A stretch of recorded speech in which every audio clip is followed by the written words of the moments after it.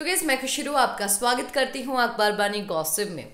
फुकरे इंसान की बातें जिया सुन के काफ़ी ज़्यादा हँसी और उसी दौरान ही जिया शंकर ने जो है आ, अपने दोस्तों को यानी कि अविनाश फलक जदादिद को जो है फुकरा इंसान की बातें बहुत ही गर्व से जो है बताई हैं। जहाँ पर फुकरा इंसान कल रात को डिनर ड्यूटी जो है, बर्तन की ड्यूटी कर रहे थे। और वैसे ही जो है वो पीछे भी बोलते हुए नज़र आए कि यार, बर्तन धोना बहुत ही बड़ा काम है, कुकिंग करना बहुत ही बड़ा काम है और स्पेशली जब अकेला कोई करता है ना तो सच में फट जाती है। और मतलब कि बैक की ना ऐसी तैसी हो जाती है, रात को मैं अकेला बर्तन धो रहा था और मेरी ना मतलब मुझे इतना ज़्यादा थकावट हुई, जाके मैं सो गया। बस इसीलिए मैंने रात के डिनर के बर्तन लिए हुए हैं।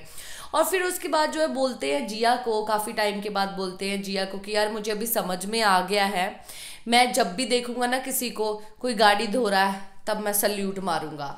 तब कोई मतलब खाना बना रहा है, तब मैं सल्यूट मारूँगा। मम्मी अगर खाना बना रही है, तब मैं मम्मी को सल्यूट मारूँगा। मम्मी सल्यूट है, बर्तन धो रहा था सल्यूट। मतलब कि वो सल्यूट के काबिल है जो लोग ये सब चीज़ें काम करते हैं। यही सब चीज़ें जो है बहुत ही फ़नी तरीके से बताती हुई जिया, अविनाश, जदादिद फलक को बताती है, जहाँ पर वो काफ़ी ज़्यादा हंसती है।